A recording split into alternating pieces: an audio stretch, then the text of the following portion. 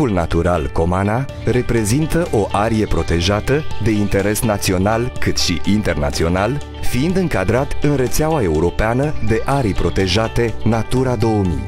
Constituit în anul 2004 prin hotărâre a Guvernului României, Parcul este localizat în zona sudică a țării, în Câmpia Română, între București și Giurgiu, întinzându-se pe o suprafață de aproximativ 25.000 de hectare și include păduri, terenuri arabile, așezări umane, pășuni, râuri și bălți. În anul 2012, parcul a fost declarat sit Ramsar, fiind recunoscut ca zonă umedă de importanță internațională, în principal datorită bălții Comana, considerată a doua deltă a României. Concentrarea excepțională de biodiversitate permite ca pe un areal aparent restrâns să poată fi întâlnit un număr mare de specii rare, atât vegetale cât și animale, care, alături de habitatele lor caracteristice, sunt ocrotite de legislația națională sau europeană. În prezent, în parc sunt recunoscute trei arii naturale cu statut de protecție integrală.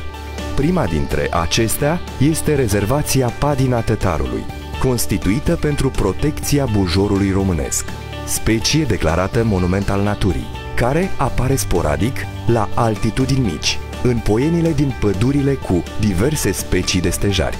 Cea de-a doua este rezervația numită Oloaga Grădinari, constituită pentru protecția ghimpelui, specie mediteraneană, aflată aici la limita nordică a arealului de răspândire. Cea mai mare suprafață, cu statut de protecție integrală, o reprezintă Balta Comana, denumită și Delta Neajlovului, care se întinde pe aproximativ 1200 de hectare între localitățile Mihai Bravu și Comana, unde întâlnim un număr foarte mare de specii caracteristice zonelor umede, de la insecte până la mamifere. Parcul Natural Comana, prin regimul de ocrotire câștigat prin lege, conferă posibilitatea menținerii nealterate a unei insule verzi într-un teritoriu intens antropizat, în imediată apropiere a unei aglomerări urbane mari, cum este Bucureștiul. Conservarea vestigiilor naturale va permite societății să ofere moștenire generațiilor următoare o bogăție poate niciodată îndeajuns apreciată, iar împreună cu ea o șansă în plus la o viață mai sănătoasă.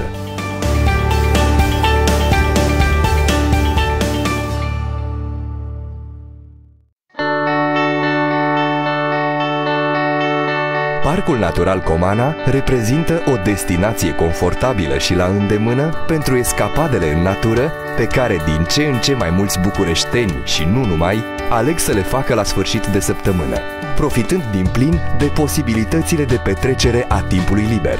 Dacă sunteți iubitori ai drumețiilor prin pădure, pasionați de mountain bike sau dacă îndrăgiți expedițiile cu caiacul pe râu ori plimbările romantice cu barca, dacă practicați picnicul, birdwatching-ul ori excursii de călare, Parcul Natural Comana constituie alegerea care poate satisface simultan așteptări variate, atrăgând deopotrivă grupurile care obișnuiesc să meargă la munte, cât și cele care de obicei vizitează delta Dunării. Poziționarea foarte aproape de București și accesul la un drum european îl transformă într-o primă opțiune de weekend. În parc sunt amenajate 10 trasee pentru plimbările cu bicicleta, însumând 56 de kilometri și 6 observatoare ce permit turiștilor să descopere peisajele și să fotografieze fauna. Cei care își doresc să înnopteze aici pot opta între camparea cu cortul în zona special amenajată din pădurea Comana sau o noapte la pensiunile locale. În parc, anual, ajung mii de pelerini datorită mănăstirii Comana, ctitorie a domnitorului Vlad Țepeș, atestată documentar din anul 1461. Cercetări istorice susțin ipoteza că Vlad Țepeș a fost înmormântat cel mai probabil la Comana, datorită faptului că bătălia în care a luptat și a murit în anul 1476 s-a dat la sud de București, pe drumul ce lega orașul de cetatea Giurgiului existând tradiția înmormântării domnitorului la cea mai apropiată mănăstire ctitorită de el, aceasta fiind la Comana, găsirea în zonă a unui schelet decapitat, alături de straie domnești și monezi datând din acel an, susține concluziile studiilor. Bătălia de la Călugăreni, purtată de domnitorul Mihai Viteazu contra armatelor turcești în anul 1595, face ca zona de la Călugăreni a râului Najlov să fie încărcată de istorie și legende, vestigiile și artefactele atrăgând cu intensitate un anumit segment turistic mai specializat. Dacă v-am captat atenția cu această scurtă prezentare a parcului, nu rămâne decât să vă invităm să vă convingeți singuri de frumusețile locului și bogăția culturală a acestuia.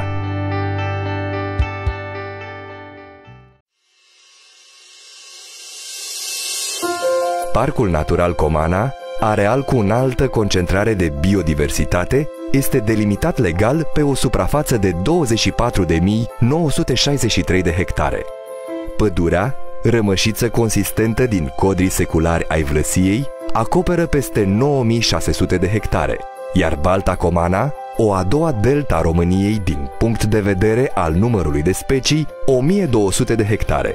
La acestea, adăugându-se alte circa 300 de hectare de zone umede mlăștinoase, ape temporare și sărături, restul terenului din parc fiind reprezentat de pășuni, vii, livezi, suprafețe arabile și localități rurale.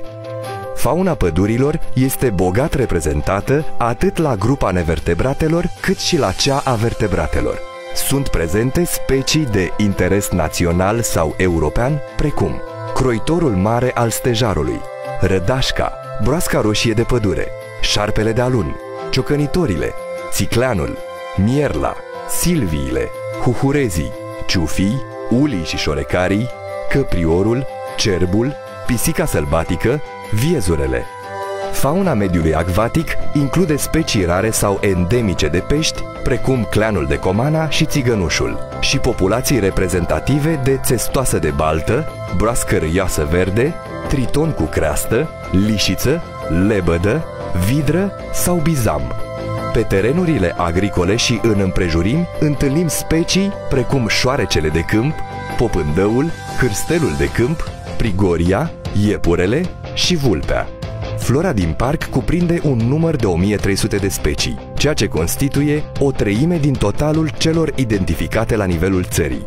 Sunt prezente specii arborescente ca stejarul, ulmul, frasinul, salcia, plopul, teiul, carpenul, jugastrul, salcâmul, dar și cele aparținând etajelor inferioare de arbuști, subarbuști și pătură erbacee, cum ar fi păducelul, ghimbele, clocotișul, stânjenelul, șofrănelul, ghiocelul de pădure.